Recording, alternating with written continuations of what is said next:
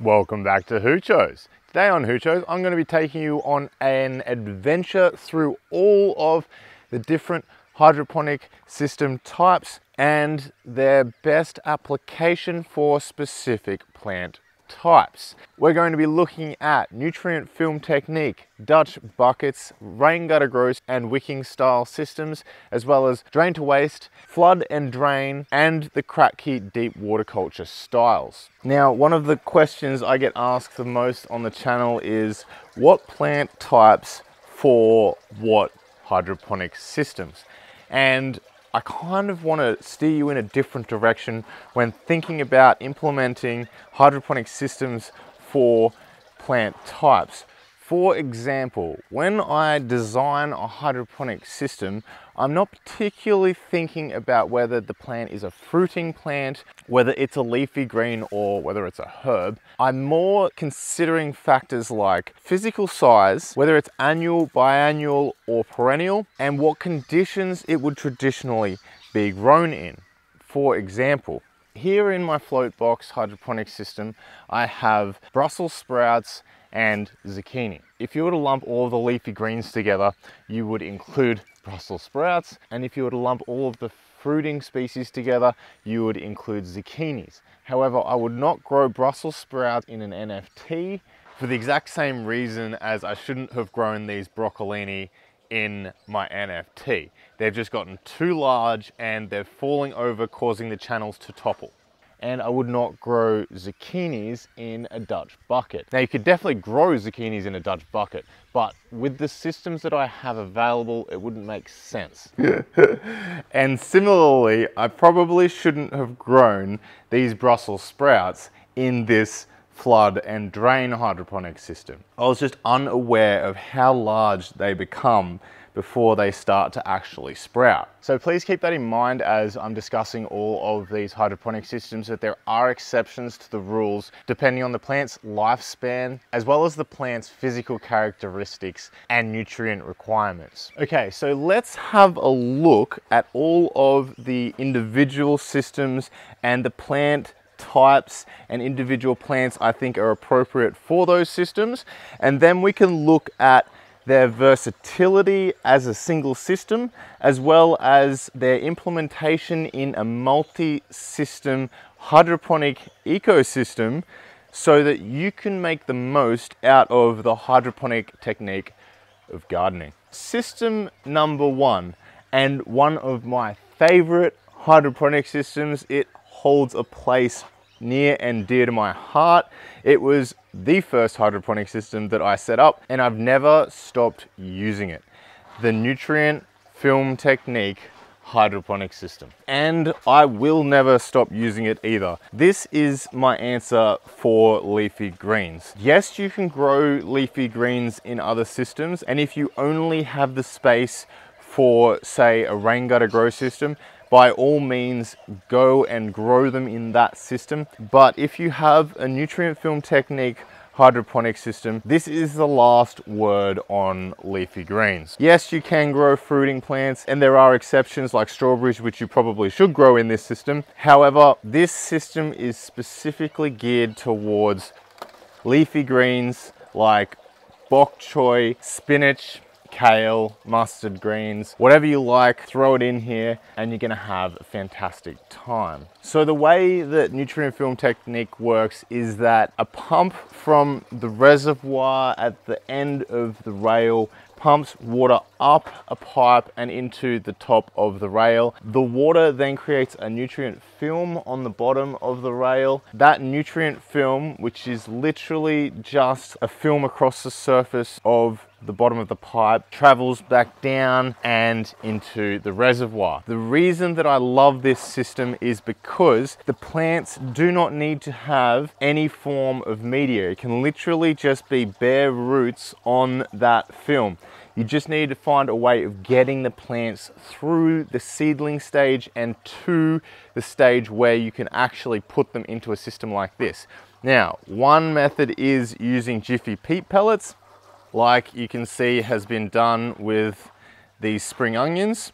And this is another example of why I can't just say, yes, leafy greens, or I can't just bulk a massive group of plants together because I am growing spring onions in NFT and the spring onions are doing phenomenally. Another way of getting the plants through to a system like this is using the cotton wool method. So this is cotton wool, which I have raised these seedlings within and it is an extremely cheap way of raising seedlings. As you can see here, I have lettuce seedlings and they are all just grown within cotton wool. I've stepped away from using peat pellets as I have done here with these tomatoes purely for the fact that these are about 16 cents each and the cotton buds are about, I think they're one cent each or something ridiculous. So for plants like these lettuce or these bok choy, it is way more cost effective to raise them in propagation media like this. Okay, so I actually don't have any Kratky or deep water culture systems running at the moment. This is a floating raft system. It's kind of a bastardization of the Kratky technique. It relies on the water itself to give the oxygen to the plants. So coming into the Queensland summer, it's probably not going to be as effective because when water is colder, it has a higher oxygen content. It has greater affinity for oxygen and allows the gas to dissolve more readily into it. So I probably wouldn't use a floating raft system like this in the Queensland summer. Now, the way that the Kratky system works is the plants are held in place above a nutrient source and as they utilize the water, the plant's roots grow down as the water level drops and oxygen is supplied to the roots in the air gap above the nutrient solution. Deep water culture is slightly different. This is where the oxygen is provided by saturating the water with oxygen using air stones and requires a little bit more maintenance than the Kratky method. When it comes to the Kratky and deep water culture methods of growing,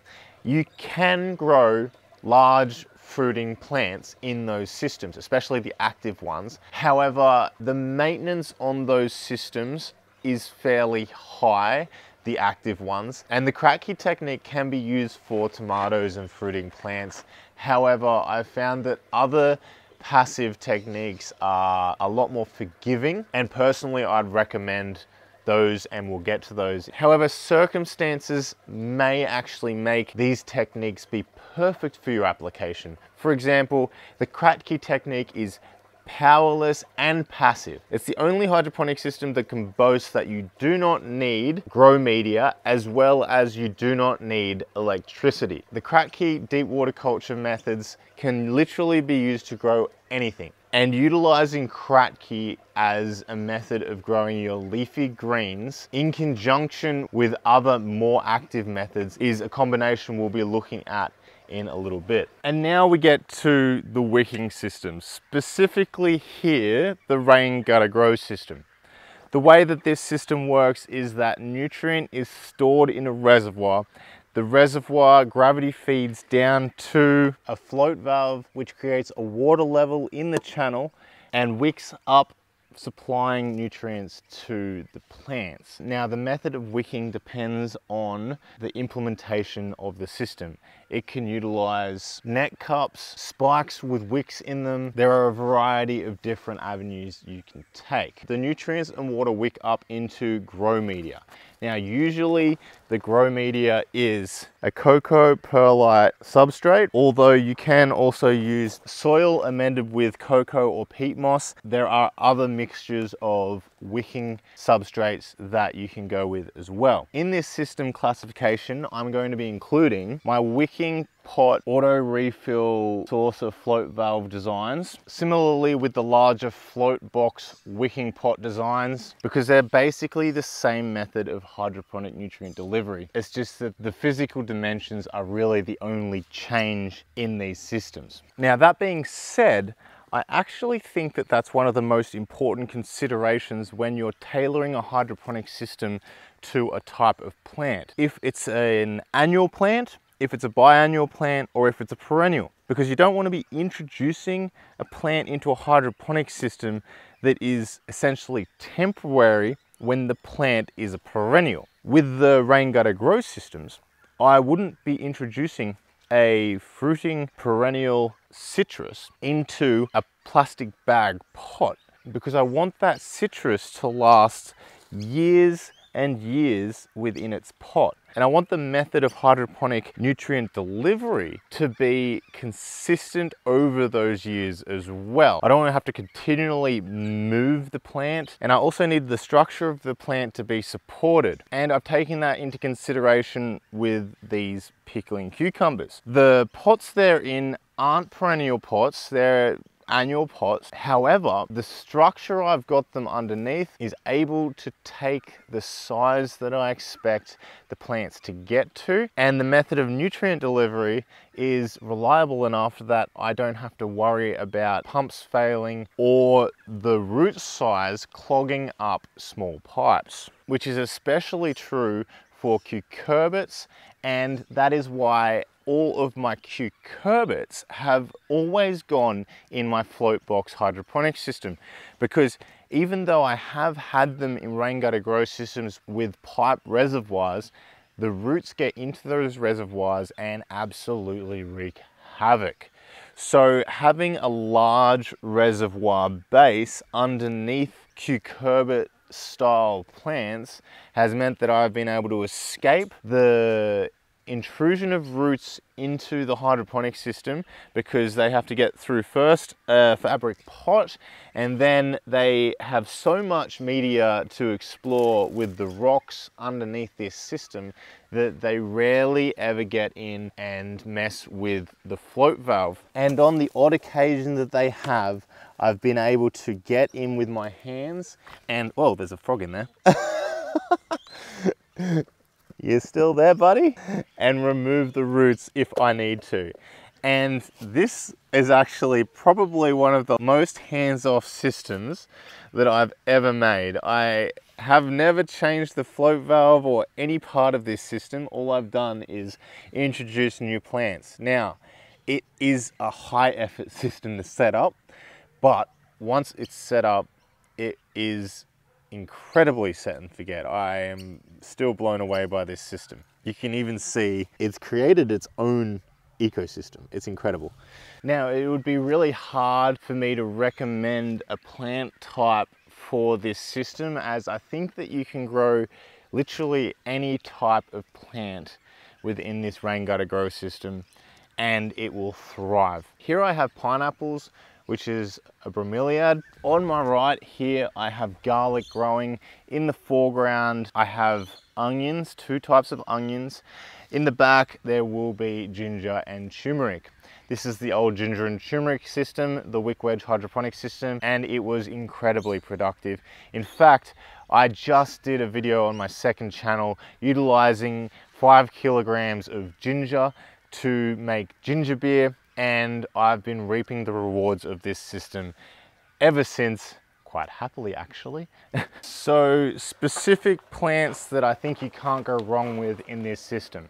Tomatoes and capsicums, really any fruiting plant that has the same physical characteristics as this, cucumbers if you had structure, eggplants, etc. This system is perfect for all of the above and it is actually one of the only systems that I would recommend for rooting, rhizome, tuber, or bulbing plants because of its handling of media and nutrients. You can do them in other systems, but if you're in love with the simplicity and hands-off approach that the hydroponic technique, my recommendation for growing these crops soillessly is to use the rain gutter grow system. And this is what I'm going to be heavily experimenting with this year. As you can see behind me, I've got multiple different styles of bag and in front of me I've got multiple different styles of potato.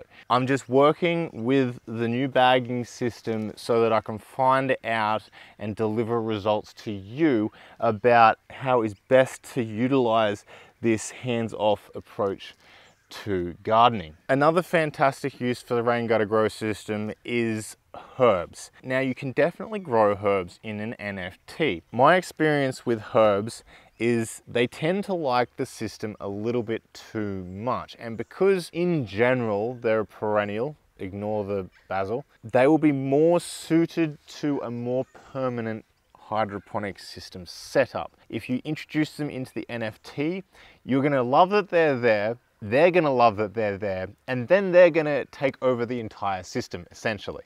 Unless you've got a production line where you're growing herbs to a certain size, and then selling them to a supermarket. If you're using it as a home garden, you're probably better off having herbs in a rain gutter grow system, a Dutch bucket hydroponic system, or a flood and drain. Now, one of the only caveats with the rain gutter grow system is the expense of that media.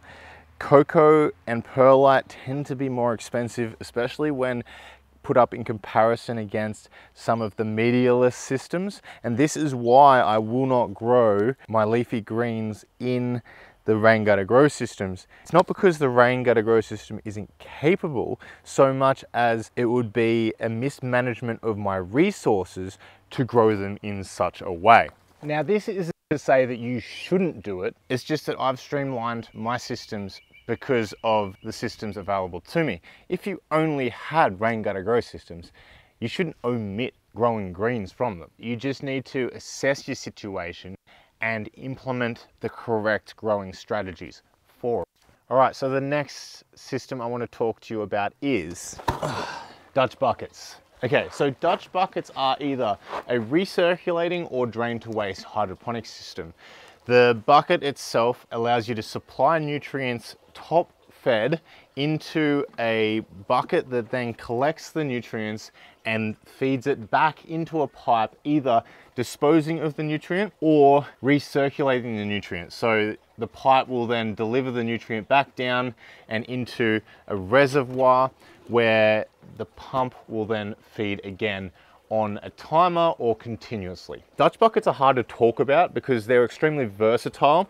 You can have no media with a lid and a net cup. You can have multiple different styles of media, coco, perlite, perlite on its own, or you can have Hydroton clay balls. Now I've packed up my Dutch buckets at the moment but we will be revisiting them in the future where we use Hydroton clay balls as the media in the Dutch buckets because I wasn't particularly happy with the shelf life I was getting out of the perlite that I had in these Dutch buckets. And when I'm implementing a system, I want it to be as cheap and reusable as possible. So for the Dutch bucket hydroponic systems, my recommendation would be to have them in companionship with something like an NFT where you've got all of your greens handled and then utilize your Dutch buckets because you are going to have a limited amount of Dutch buckets for your fruiting plants. So your tomatoes, your cucumbers, your eggplants, and your high value crops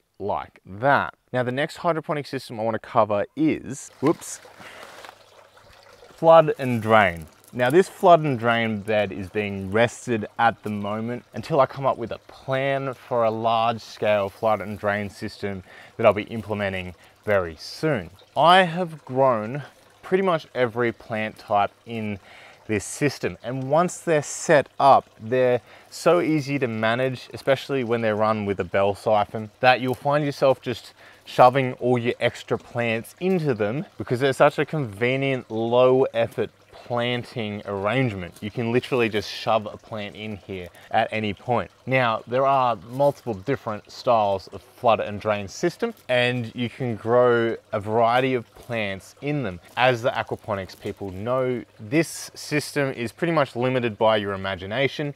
However, large perennials like fruit trees, I would probably stick away from introducing into systems like these. Not to say that you can't, you can literally do whatever you like. These beds are really really good all-rounders. They manage roots really well because there is so much root space for the plants and they do a really good job of supplying nutrients and water to the plants at the same time as delivering oxygen because of the method of delivery, which is the flooding and draining of the bed utilizing a pump from a reservoir. The flooding and draining action allows the water to flood in and drain out. As the water and nutrients drain out, they leave the roots moistened with the water and nutrients firstly, but they also pull oxygen into the gaps between the media and oxygenate the air around the roots as well. So they are a very productive style of hydroponic system. This style of hydroponic system is particularly good for plants that require structure to their roots. So if you are not planning on supporting a plant, flood and drain can be a really nice way of giving a plant structure so that it can hold itself up. It's an extremely versatile system. However, the effort involved in creating such a system and the limited space that you get means that usually you'll be putting higher value plants in flood and drain systems. Either that or the flood and drain media will have a dual purpose.